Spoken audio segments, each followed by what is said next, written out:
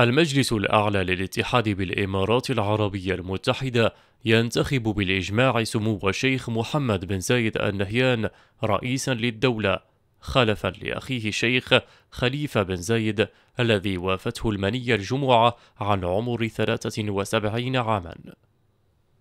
انتخاب الشيخ محمد بن زايد النهيان رئيسا لدولة الإمارات العربية المتحدة جاء خلال اجتماع للمجلس عقد السبت في قصر المشرف بأبو ظبي برئاسة سمو الشيخ محمد بن راشد آل مكتوم نائب رئيس الدولة رئيس مجلس الوزراء حاكم دبي. وذلك تفعيلا للمادة الحادية والخمسين من الدستور الإماراتي.